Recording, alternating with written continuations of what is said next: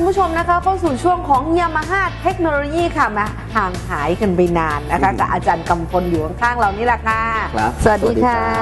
สวัสดีครับหน้าคุ้นๆใช่ไหมคะคุณผู้ชมค่ะก็นี่แหละค่ะ อาจารย์แหมไม่ธรรมดาของเราคนหนึ่งครับเมื่อไหร่ที่มีรถออกเราต้องเจออาจารย์อย่างแน่นอนนะคะครับสัปดาห์นี้อาจจะออกช้ากว่านี้นิดนึงเพราะว่าอาจารย์ติดภารกิจค่อนข้างเยอะครับนะคะครับขอโทษรุ่นด้วยนะครับอ่ารุ่นนี้เป็นรุ่นของอะไรคะครับก็ ตามชื่อเลยนะครับ Grand Filano นะครับเป็นโมเดลใหม่ล่าสุดเป็นรุ่นใหม่ล่าสุดของทางบริษัทยามาฮ่าค่ะ นะครับ รุ่นนี้มีจุดเด่นค่อนข้างจะหลากหลาย แต่อันเนี้ยเดี๋ยวเรายกยอดไปไว้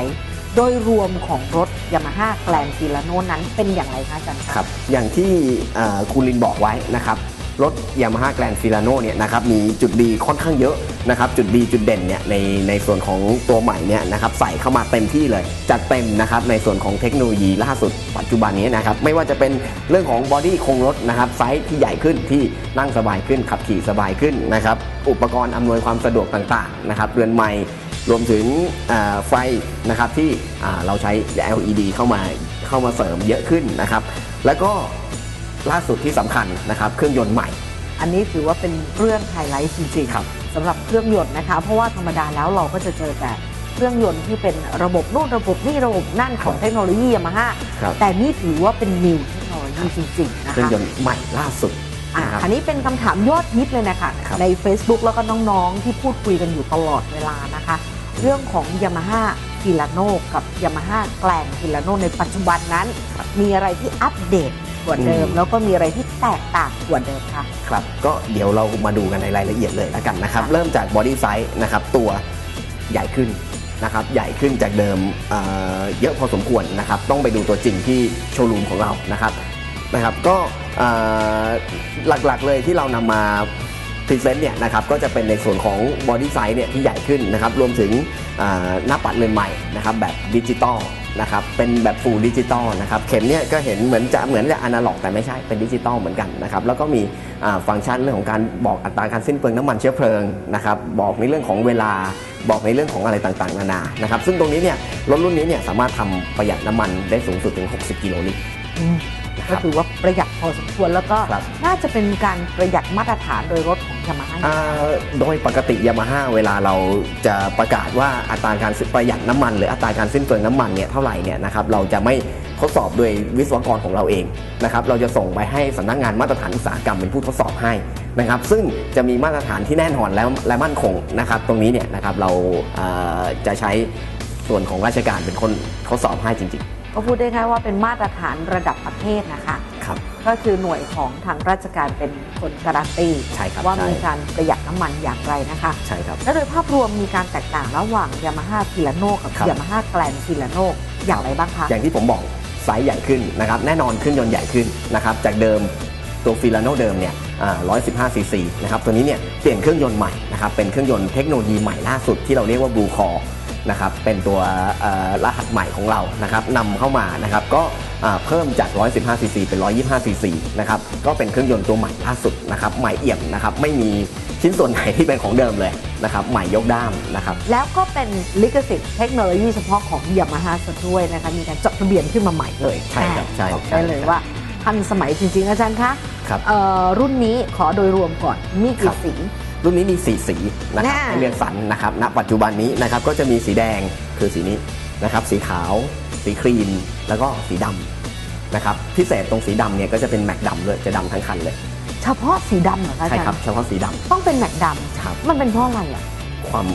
เหมือนกับอืมความเวลาเราขี่ไปไหนมันความเป็นสมาร์ทสมาร์ทดุอะไรอย่างจเงี้ย ริงๆแล้วรุ่นเนี้ยพูดง่ายๆว่าถ้าใครไม่หล่อควรซื้อนะคะ เพราะว่าเห็น แล้วหล่อถูกครับ อาจารย์ยังอยากจะได้ประคันหนึ่ง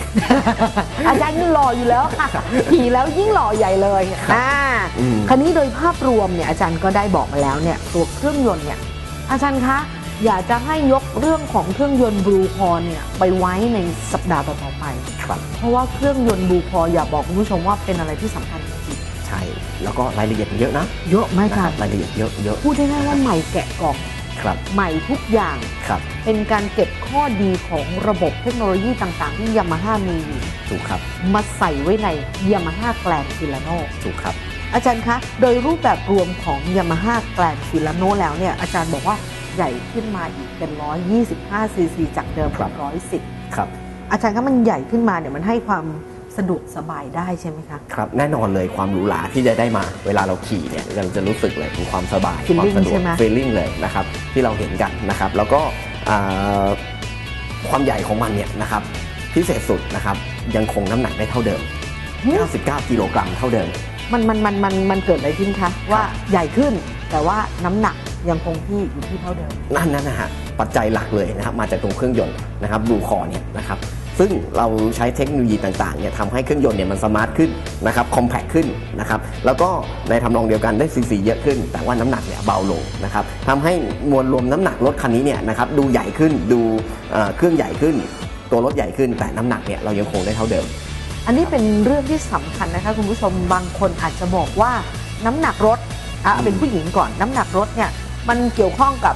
เรื่องของการขับขี่ของผู้หญิงไหมครับดิฉันว่าใช่ใช่นะอาครัจาบรย์เพราะว่าครับผู้หญิงเองเนี่ยเรื่องของการแบกรับน้ำหนักมากขึ้นเนี่ยครับเป็นเรื่องที่สำคัญโดยเฉพาะผู้หญิงไทยเนี่ยเขามีมาตรฐานความสูงอยู่ครับ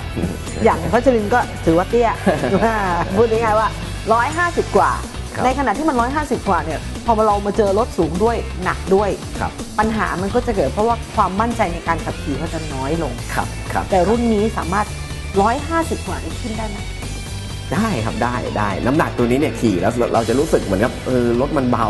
รถมันขี่ง่ายขี่คล่องขี่สบายนะครับไม่เจอถ้าเราดูจากภายนอกเฮ้ยมันจะใหญ่หรือเปล่ามันจะหนักหรือเปล่า แต่พอขึ้นไปลองขี่นะคนละเรื่องคนละเรื่องนะเบขาสบขายขึ้นมาได้นี่คือจบละครับจบเหมือนละล่อนเลย ขับเหมือนล่อนเลย ความนุ่มของการขับขี่มีมากไหมคะอาจารย์กับอ่าเครื่องยนต์บลูคอ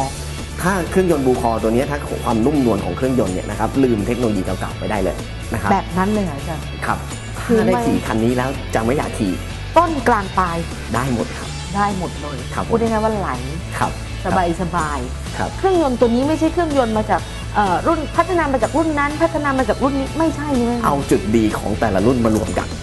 นะครับ แล้วก็พัฒนาขึ้นมาใหม่ อาจารย์เน้นอย่างนี้เนี่ยครับสัปดาห์หน้านะ เรามาดูเรามาแกะเครื่องยนต์กัน ว่าเครื่องยนต์บูพอนั้นเป็นอย่างไรแล้วก็อย่างที่อาจารย์ พูดไว้หรือไม่นะคะ สัปดาห์หน้าเรามาเจอกันค่ะ ตอนนี้ต้องพักชมสิ่งที่น่าสนใจสักครู่แล้วกลับมาพบกับช่วงต่อไปของรายการ